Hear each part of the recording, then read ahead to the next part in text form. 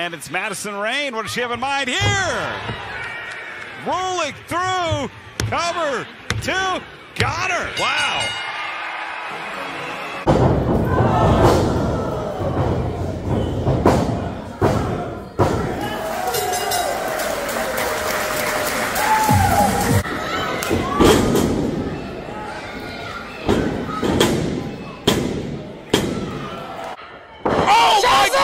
My goodness! What a stunner! And that does it! And Oh. down she goes. That could be it. Okay, Team Canada. All for you. What a lariat. Got her. Oh, oh shit! Not on the chair! Stone!